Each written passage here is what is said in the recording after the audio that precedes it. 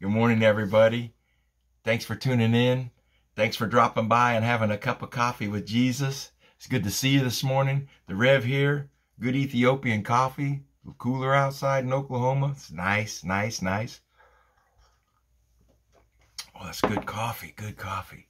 Hey, this morning, talking about uh, discipline, the discipline of our of our mind, discipline of our body, uh, discipline is important. Discipline is where lots of stuff comes from. Even in uh, in uh, martial arts, when they ask, they say, "Well, what discipline is it?" Even in even in uh, philosophy, they say, "What discipline do you do?" Is because they know that there is an area where you have studied out, where you've exercised out. Right? It's a discipline. We need to discipline ourselves in godliness. That's right, godliness. It's not easy. It's not easy doing what the Word of God says. But it says right here, I don't want to say it's not always easy doing what the Word of God says because we get our flesh in the way. Uh, 1 Timothy 4, starting with uh, this verse 7 and 8. But have nothing to do with worldly fables fit only for old women. On the other hand, discipline yourself for the purpose of godliness. For bodily discipline is only of little profit but godliness is profitable for all things, since it holds promise for this present life and also the life to come. It's exercising our godliness, the things that we know are right. Just like Matthew uh, 18, 15. If somebody offends me and I, I can't hold the offense against them, I'm to go to them. That's what the word of God says. I'm to go to them privately and work it out with them. And if I can't, then I get somebody else involved. The church is really bad about this. The church wants to go tell.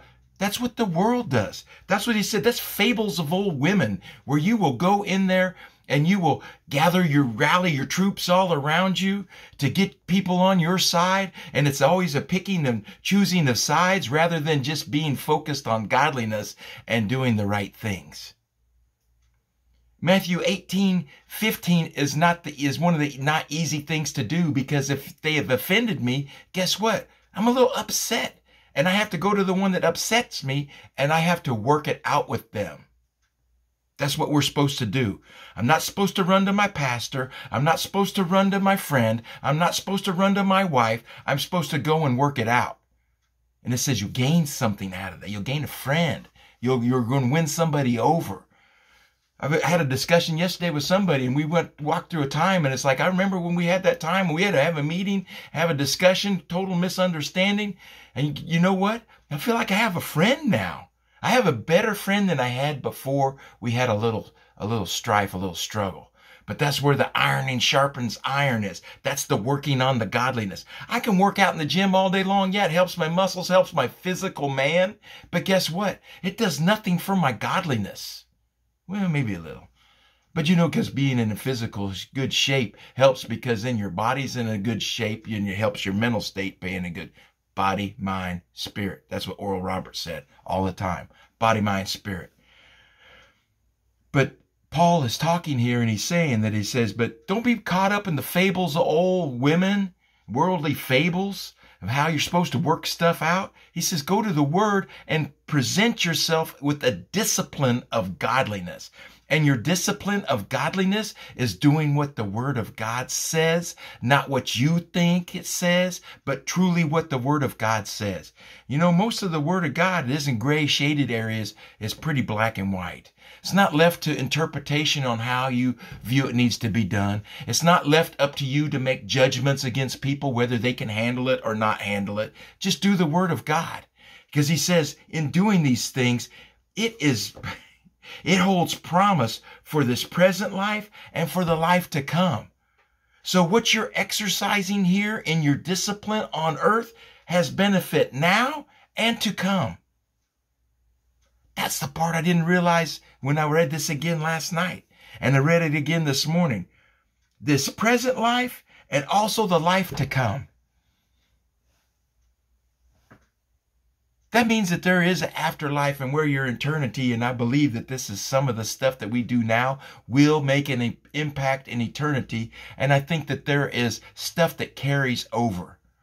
your pettiness about offense and getting your troops rallied around you, that isn't going to heaven. That's burned up like sticks and twigs. It's only the things that you did in the name of Jesus comes out on the other side. That's right.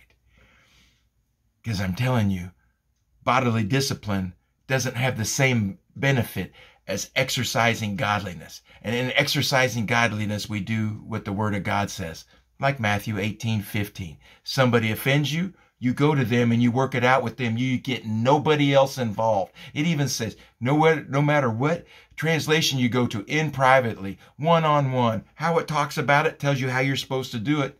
You got to go do it.